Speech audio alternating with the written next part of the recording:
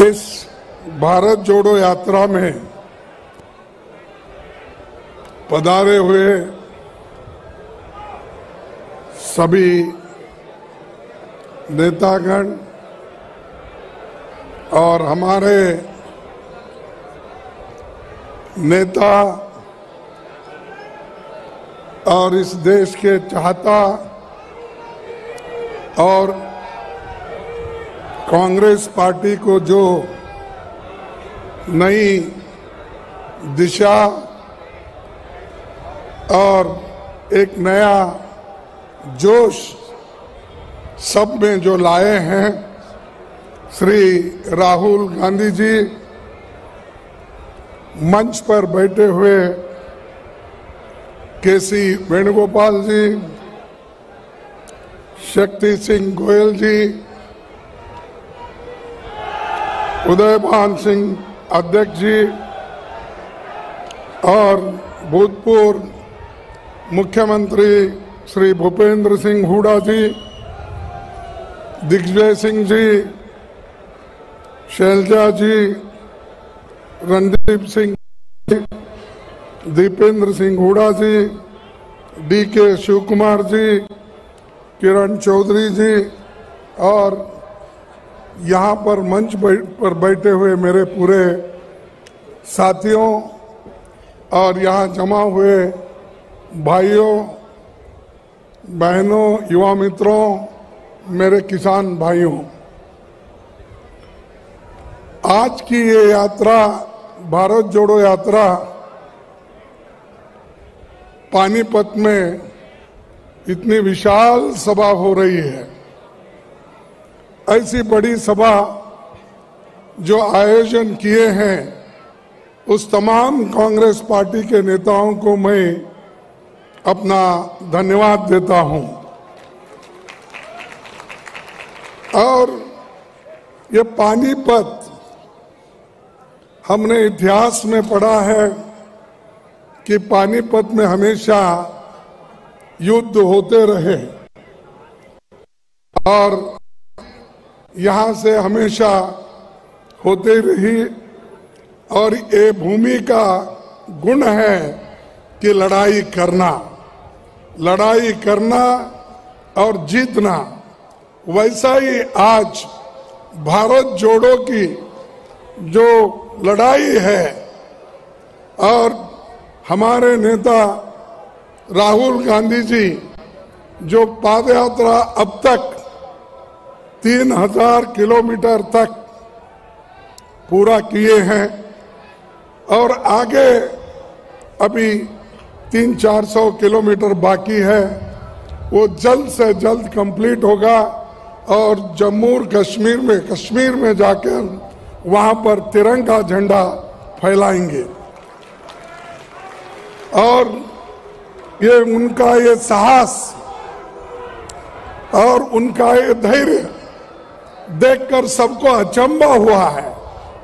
भाई, हम तो राहुल गांधी जी को दिल्ली में देखते थे, एसी के कमरे में देखते थे, गाड़ी में देखते थे, लेकिन ये राहुल अलग निकले, जो कन्याकुमारी से लेकर पानीपत तक अपना जो पादयात्रा पूरे किए हैं ये इससे देखिए, वो ठंडी में, पहले बारिश में, धूप में, हर तरह के सीज़न में उन्होंने चलते रहा।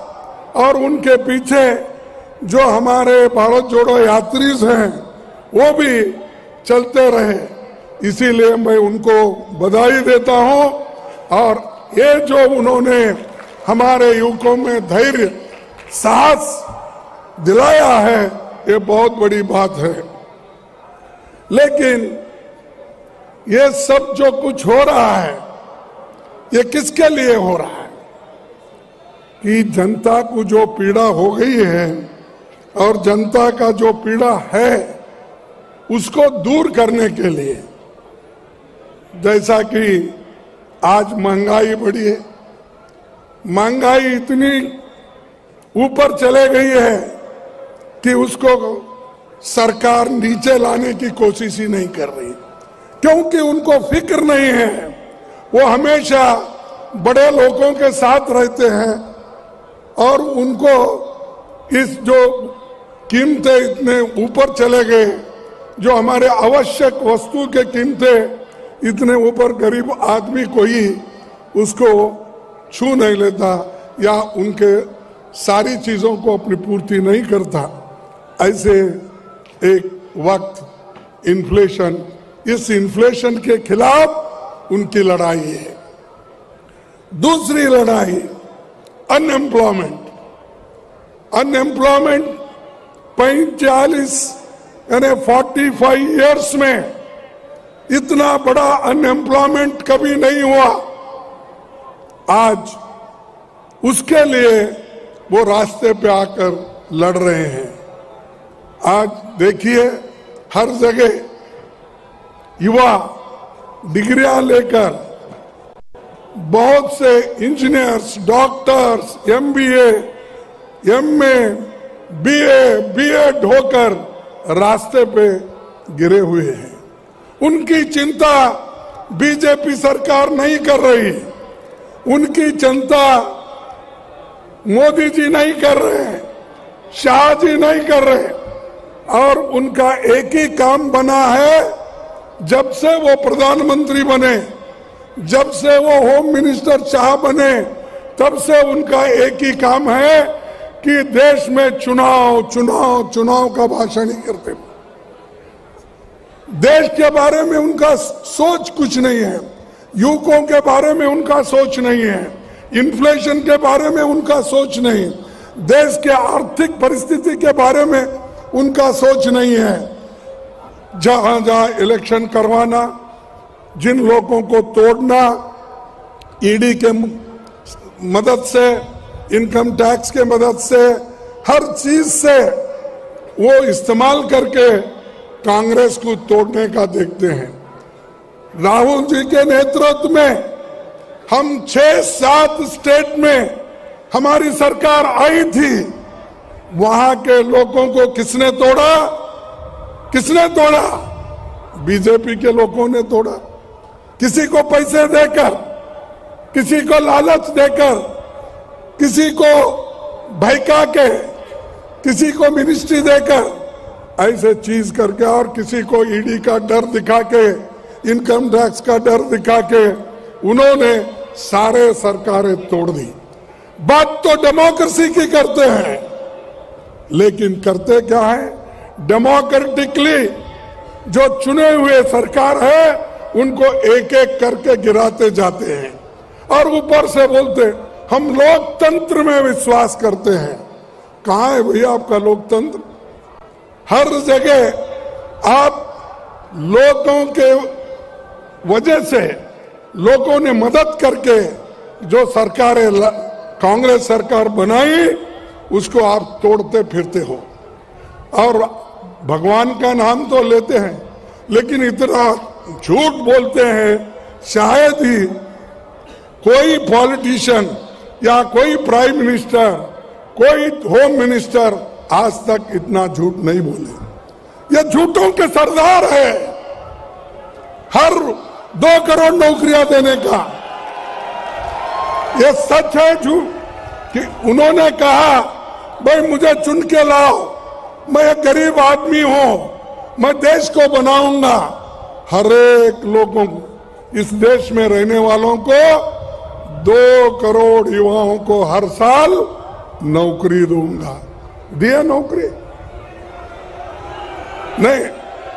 आपको मिला होगा, क्योंकि यहाँ लड़ाकू लोग ज़्यादा है, लड़ने वाले हैं, इसलिए मिला होगा दो करोड़ आपको। नहीं मिला। पंद्रह पंद्रह लाख देने का वायदा। मिला पंद्रह लाख? नहीं मिला। अब अब क्या कर रहे हैं? त्रिपुरा में इलेक्शन है। वहाँ शाह चाहते हैं। वो कहते हैं, भाई, राम मंदिर बन रहा है। एक तारीख उसका उद्घाटन है।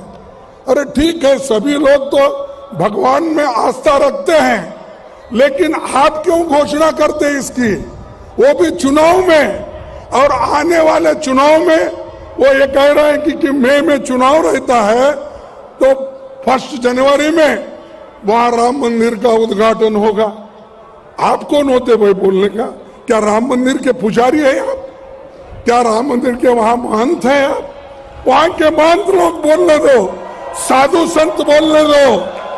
आप क्यों है? आप पॉलिटिशियन है।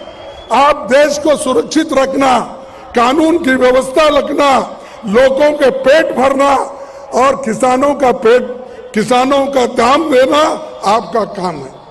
किसानों को भी बोले कि आपका दाम दुप्पट होगा। होगा दुप्पट? एमएसपी बढ़ाएँगे, बढ़ाए? नहीं। तो ये सारी चीज़ें वो बोलते जाते हैं। और ये सब और बाद में ये कहते हैं, अरे भाई, ये तो इलेक्शन के जुमले हैं। अगर इलेक्शन के जुमले हैं तो ये बोलना था पहले ही, वोट लेने से पहले। वोट लेने के बाद ये जुमले बन गए पंद्रह लाख। दो करोड़, सारी चीज़ें जुमले बन गए। तो इसीलिए मैं ये कहूँगा मुख में राम, बगल में छुरी। मुख में राम, बगल में छुरी। और ये छुरी लेके घूम रहे हैं। समाज को डिवाइड कर रहे हैं। जाति जातियों में झगड़ा लगा रहे हैं। धर्म धर्म में झगड़ा लगा रहे हैं। और एक खाई बढ़ा रहे हैं। जो डिवाइड कर रहे हैं, इसी के लिए राहुल गांधी जी इस खाई को दूर करने के लिए, जोड़ने के लिए वो इतनी पाद यात्रा कर रहे हैं। ये है ये वोटों के लिए नहीं है। ये वोटों के लिए नहीं है ये देश के हित के लिए है आपके हित के लिए है किसानों के हित के लिए है युवाओं के हित के लिए है महिलाओं के हित के लिए है दलितों के हित के लिए है। ये जो कर, कर रहे हैं वो लेकिन वो क्या कर रहे है? वोटों के लिए कुछ भी बोलो। क्योंकि लोग सुनते हैं और वो ये चाहते हैं कि जब तक लोग सुनते ही, सुनते रहेंगे, वोट देते रहेंगे, ऐसे ही जुमले बोलते रहेंगे। ये उनका एक वादा है और उसी से निभाने की कोशिश कर रहे हैं। मैं एक बात कहूँगा कि भाई ये कभी भी एक कवि ने कहा है, क्या कहा है? मैं उस लेखक का एक सेंटेंस यहाँ पर उच्चारण करूँगा। था तुझे गुरूर, अपने लंबे होने का ए सड़क। था तुझे गुरूर, अपने लंबे होने का ये सड़क। राहुल के हौसले ने तुझे पैदल की नहीं नाप दिया। था तुझे गुरूर अपने लंबे होने का ए सड़क सड़क बोल रही थी, मैं इतना लंबा हूँ। और वो उस पर गुरूर था उसको। लेकिन राहुल के हौसले ने तुझे पैदल ही नाप दिया, चल के ही नाप दिया। तुम कितने लंबे हो, मैं देखता हूँ। तो कन्याकुमारी से कश्मीर तक वो चलते जा रहे हैं। और हम सबको उनके मदद में, उनके सपोर्ट में आना चाहिए। और युवकों को मैं खास करके विनंती करता हूँ कि अभी बहुत से चीज़ें हैं बोलने के लिए, लेकिन वक्त हुआ है, हमको पहुँचना भी है, राहुल जी भी आने वाले हैं, इसीलिए मैं ज़्यादा वक्त न लेते हुए मैं इतना ही कहूँगा कि यहाँ के युवकों को फंसाने की कोशिश चली। अग्निपथ का उन्होंने एक विचार लाकर अब सबको स्टाइपेंडरी ग्रेजुएट किसी को मिलिट्री नहीं फौजी नहीं कहलाएँगे। वो सिर्फ़ एक द, उनको एक सर्टिफिकेट दिया जाएगा और वो सर्टिफिकेट लेके ही वो फिरते रहेंगे। नौकरी नहीं। तीस लाख नौकरियाँ इस देश में खाली है। चाहे डिफेंस हो चाहे स्कूल्स हो चाहे कॉलेजेस हो चाहे सिविल सर्विस में हो, तीस लाख। लेकिन मोदी जी नहीं देंगे वो। इसलिए नहीं देंगे 30 लाख में से 15 लाख नौकरियाँ schedule caste, schedule tribe, backward class के लिए जाएँगे।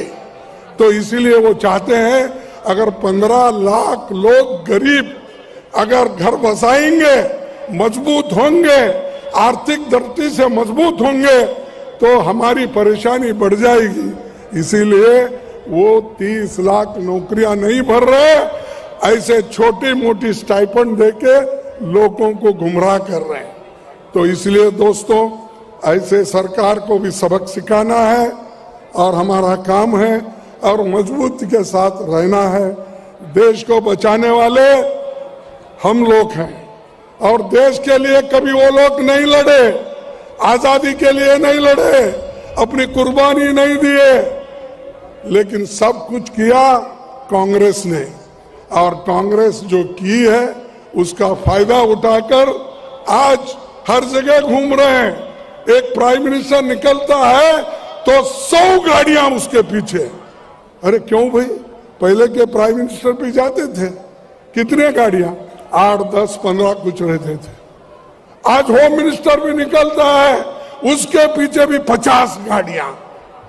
और हम यहाँ पर पानीपत पहुँचना चाहते थे हेलीकॉप्टर में तो हमको क्लियरेंस भी जल्दी नहीं मिलता। ये बात चल रही है।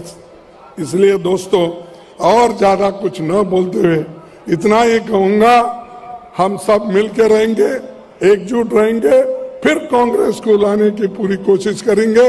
यही मैं आपसे प्रार्थना करता हूँ। जय हिंद जय कांग्रेस।